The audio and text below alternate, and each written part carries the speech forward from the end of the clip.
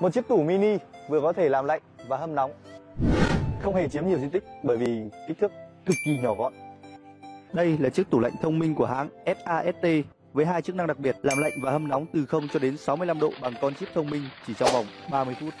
Không dùng ga như tủ lạnh bình thường đâu nhé.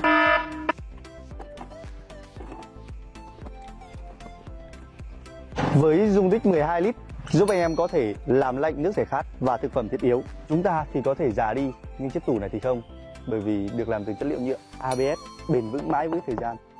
Ôi rồi ôi Sử dụng nguồn điện 12 đến 24V trên ô tô cho anh em chạy xe taxi và đường dài thì cứ gọi là siêu thị di động.